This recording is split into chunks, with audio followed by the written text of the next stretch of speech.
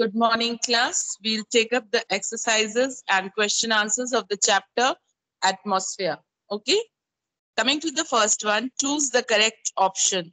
What percentage of oxygen is found in atmosphere? 21%. One B. Very good.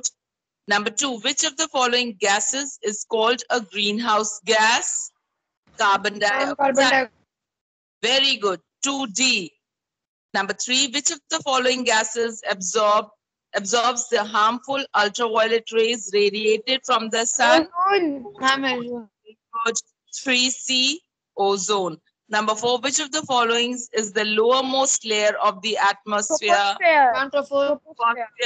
Troposphere. Troposphere. Thank you. Troposphere. Number five, radio communication is possible due to ionosphere. Ionosphere. 5A. Now we come on to the second exercise, the straight state true or false. Number one, exosphere is the lower layer of the atmosphere. False. False, False. underline lower and right there uppermost. Right there uppermost. So the sentence would be exosphere is the uppermost layer of the atmosphere. Number two, the air pressure is highest at the sea level. True.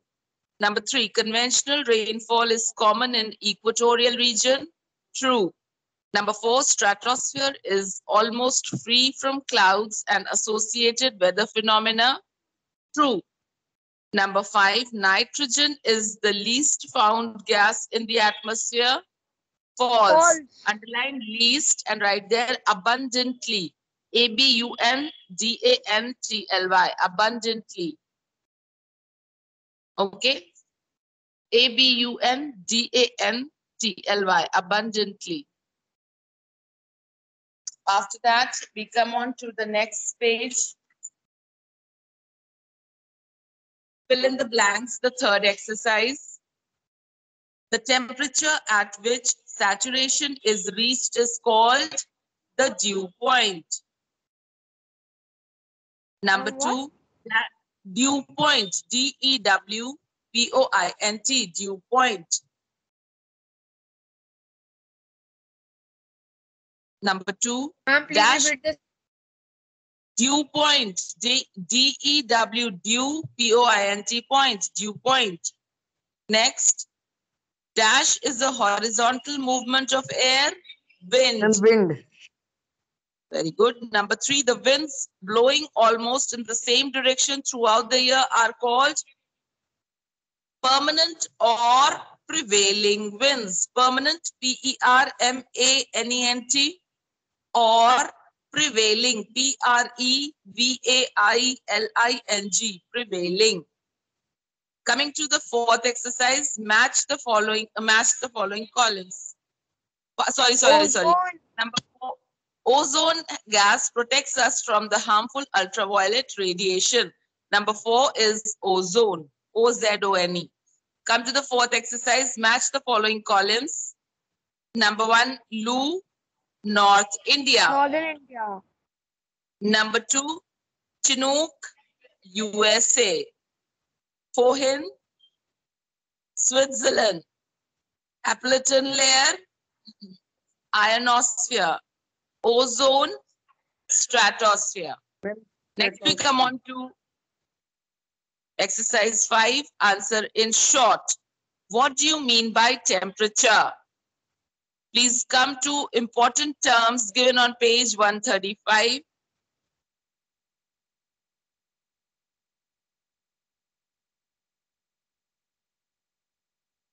Uh, temperature. Please, the term used to express the intensity or degree of heat in the atmosphere is known as temperature. Did you get it? This is your Yes, answer, ma'am. five, five, one. Then five, two, what do you mean by pressure? Page one thirty-two. No, because here it is more nicely given. That is why I switched over to this. Five, two, come to the second, third line. Air pressure, remove this dust from here air pressure is defined as total weight of a mass of column of air above per unit area at sea level is known as pressure. Yeah, रुको रुको is known as air pressure लिखने की जरूरत नहीं है. Air pressure is defined as yes, so it is leave that only till here. This is your five two. Coming to please five. repeat the second. 5.2 is air pressure is defined as total weight of a mass of column of air above per unit area at sea level. This is your answer 5.2. Coming to 5.3. What is humidity? Page 133. Humidity refers to the content of water vapor present in the air in gaseous form at a particular time and place. Did you get it? This is your 5-3. Coming to 5-4. Define seasonal winds. Page 133. Come to the topmost page column. Seasonal winds heading, can you see right there? Start marking. Winds with seasonal changes in their directions are called seasonal winds. For example, monsoon winds. This is your 5-4. Coming to 5-5. What do you understand by Loo? 133. Can you see local winds written there? Now you have to make certain changes, so be very alert. These, can you see the uh, heading local winds? Now make changes. These are winds. These right there are winds that blow. Are and that you have to add. Okay, I will I repeat. These are winds that blow over a particular period of the day or year in a small area. Mark till here. After that, leave a sentence. Come here. Loo. Can you see Loo? Mark. Yes. Loo. Hot wind blows in northern India during summer. That's it. This is your 5-5. Coming to Five, six. Define wind. Page 132. Can you see the heading wind here? Mark. Wind is the air in motion. It is horizontal movement of air. This is your five, six. Then five, seven. What do you mean by weather? Page 131.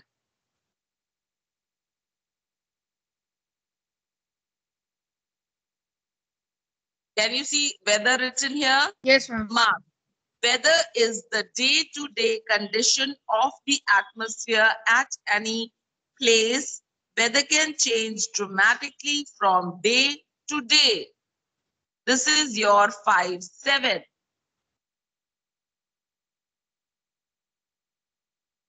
Coming to 5-8. What is climate? Page 130, 131. Can you see weather and climate here in the last lines? Climate is one of the basic elements in the natural environment. It affects landforms, soil types, and vegetation. It is, it is, it influence, its influence on man is very high.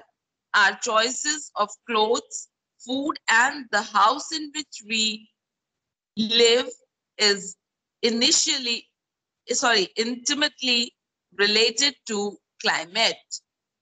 Marked five eight. Ma'am, we have to put is after it. Beta, here it's a wrong English written here. It a likha hai na, it a influence on man is very high. Its influence on man hona chahiye na. Got it? Now coming to five nine. Name the layer which reflects radio waves. Answer. The layer which reflects radio waves is ionosphere. Ionosphere. Number five, ten. What do you mean by relative humidity? Page 133. Can you see relative humidity written here? The entire paragraph is the answer. I'm reading it out. It refers to the total amount of water vapor present in a 20 uh, present in a given volume of air and it is expressed in number of grams of water per cubic centimeter.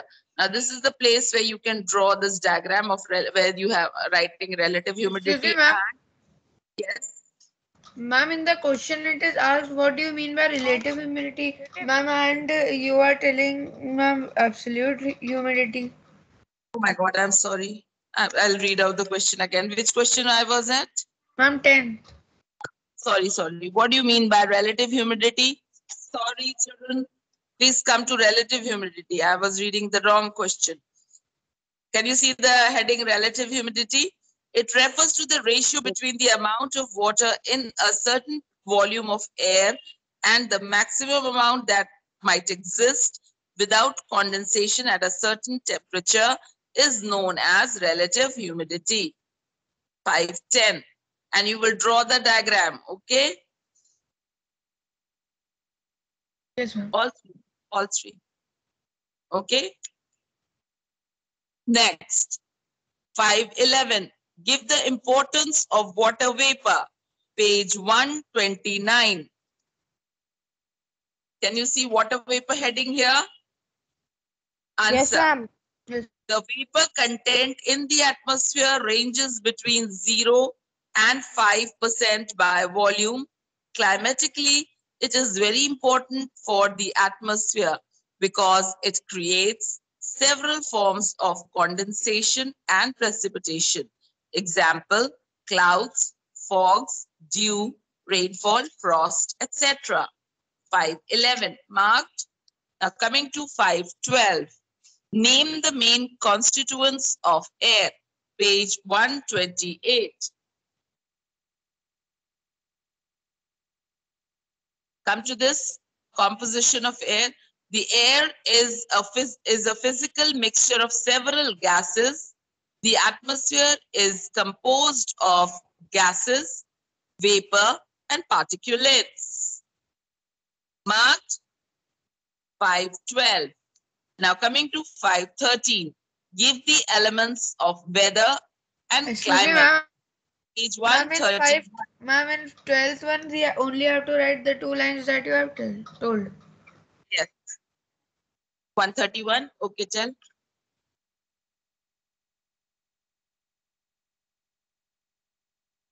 Very good. So come to this top paragraph. Can you see elements of both? So here you'll write elements of both weather and climate. You'll write here elements of both weather and climate are same. That is temperature, pressure, wind, humidity, rainfall, etc. Okay, we stop here for today. We will be doing the longer ones when we meet in our next class.